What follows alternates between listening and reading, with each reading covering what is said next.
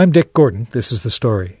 Earlier this week, city officials in Los Angeles took the next step in their move to untangle traffic gridlock on the city streets. It's the first city to fully synchronize all its traffic lights, all 4,500 of them, in an attempt to get cars and trucks moving more smoothly through the city. Funny thing is that Los Angeles once had, what some people say, was a great public transit system. This is 99% Invisible. I'm Roman Mars, and this is Eric Molinsky. Hi, I'm Eric. Eric is an independent producer in New York City. Brooklyn, of course, like most public radio producers here. But before Brooklyn, Eric spent 10 years in Los Angeles. Yeah, when I was in LA, I used to hear this story pretty often, and the story, it's almost like a fable. LA had this, you know, amazing transportation system called the Red Car and it was this trolley that covered the entire city. And then after World War II, either Ford or GM bought the red car, had it dismantled, and then built this, you know, horrible freeway system that created the sprawl and gridlock of today. What the hell's a freeway? Eight lanes of shimmering cement running from here to Pasadena. Smooth, safe, fast. Traffic jams will be a thing of the past. And, you know, the first time I heard the story, I thought, well, the that sounds familiar. It must be true. I, I feel like I've definitely heard this story before. That's because it's the plot of Who Framed Roger Rabbit. Come on, Eddie, where's your sense of humor? Or at least it's the evil scheme that Christopher Lloyd reveals at the end of the movie.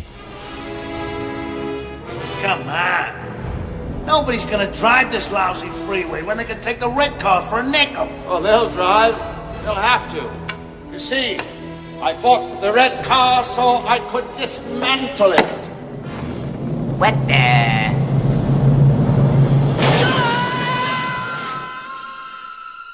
This isn't totally ridiculous. Remember the plot of Chinatown, where a Los Angeles mogul was stealing water from Northern California? That actually happened. Forget it, Jake. It's Chinatown. As I learned more about the history of LA, I learned that the red car was actually not the victim of a massive conspiracy. The red car actually was the conspiracy.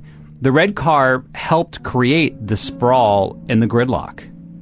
To understand how this all came about, we have to go way back to the mid 19th century. A boy named Henry Huntington was born into a middle class family in upstate New York, but he has a very wealthy uncle named Collis Huntington. Collis has no kids, and he sort of latches on to his nephew. And I mean, I assume he must see something in Henry. You know, he thinks this kid can be molded into a businessman, and he's right. And so Collis takes little Henry under his wing. He teaches him everything about the family business, which is railroads. Jump to 1900. Collis dies, and Henry thinks he's going to inherit the company Southern Pacific. But the board doesn't want another Huntington in charge, so Henry's out. And he gets a consolation prize, which is $15 million, which back then was about maybe like $400 million today. And he takes his cash and he goes south to Los Angeles.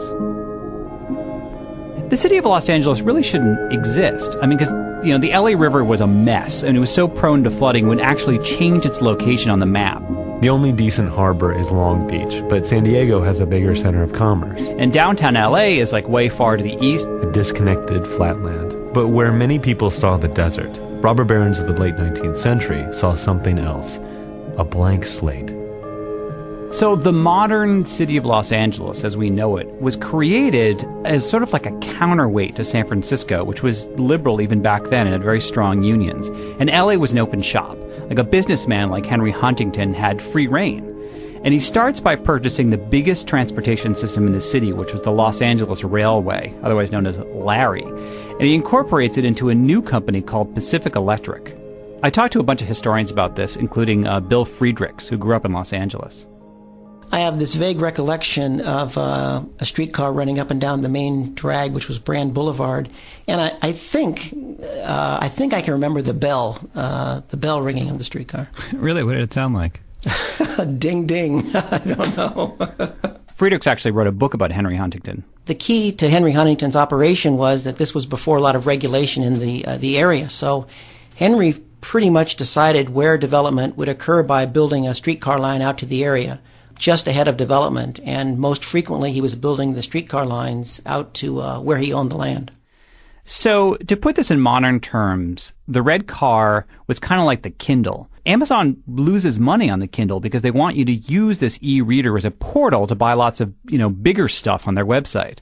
And so the red car was a portal to get you to buy other bigger stuff from Henry Huntington. Like your entire life. He never really made money with the Pacific Electric, but it took people out to uh, to his subdivisions where he sold them land, frequently sold them water. He controlled some water companies. He also established an uh, electric operation called the Pacific Light and Power Company.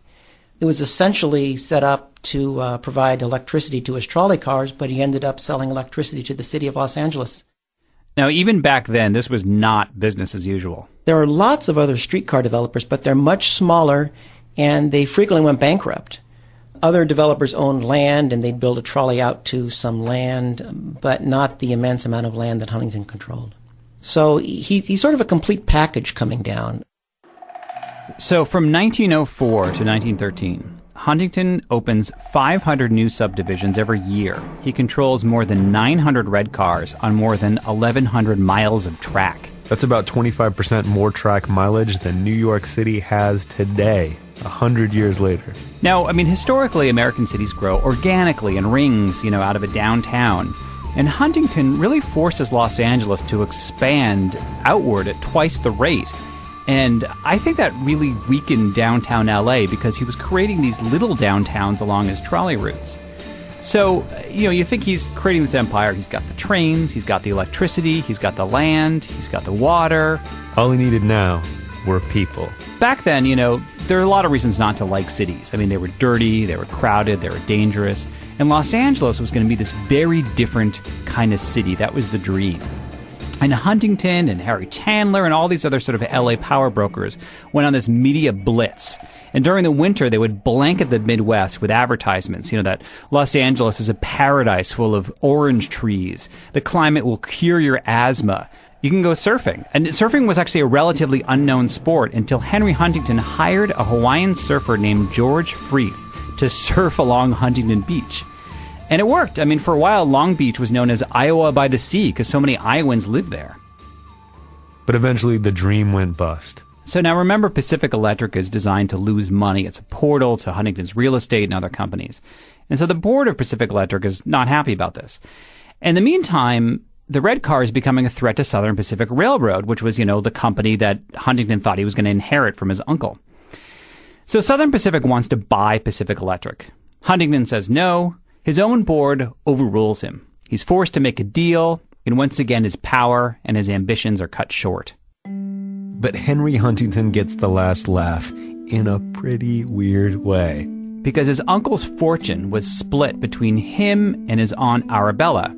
So, so Huntington marries his aunt and consolidates the family fortune. Now, it's actually not quite as icky as it sounds because they were not related by blood.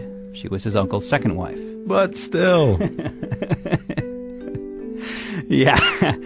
So Huntington actually lives happily ever after with his wealth and his aunt, his aunt slash wife, and he he brings a lot of beauty to Los Angeles. He creates Huntington Gardens, the Huntington Library. He dies in 1927, and I don't know if he knew yet, but it was clear already to historians looking back that the red car was doomed.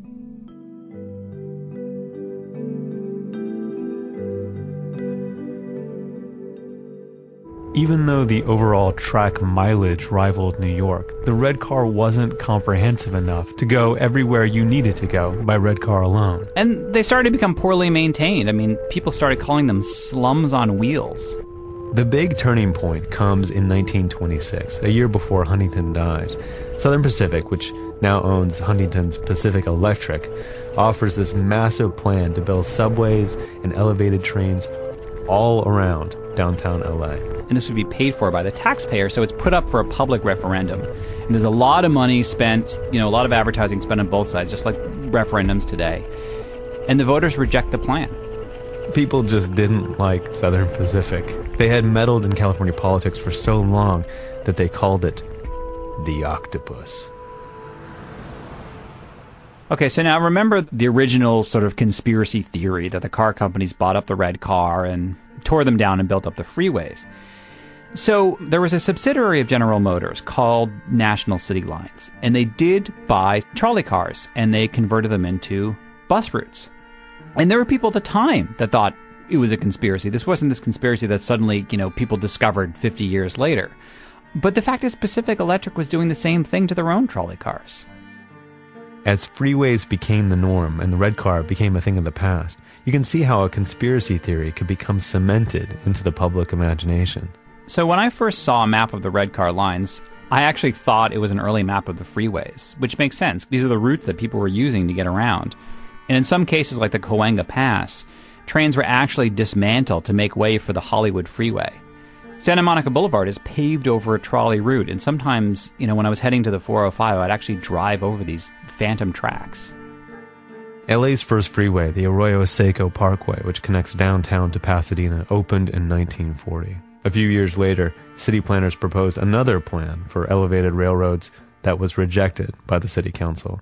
The last red car ran in 1961. And you have to think it was, in a way, a victim of its own success. Henry Huntington's goal was to connect his far flung properties and create a decentralized city that you'd need a mass transit solution to get around. The problem was, he couldn't provide it. Over time, LA was so spread out that it overtaxed what the red car was capable of servicing. I like to imagine, you know, if it's 1960 and I'm driving along the 10 freeway, I mean, I'm sure there was traffic, but it must have been pretty smooth because, I mean, the freeways that exist now were the same freeways back then, but built for a much smaller population. So they must have seemed like a really impressive solution at the time. And today, Angelenos can appreciate the great solution of their highway system for hours and hours and hours. And hours. And hours. And hours. And hours. And hours. And hours. You can hear more Roman Mars and 99% Invisible. Just go to our website for the link.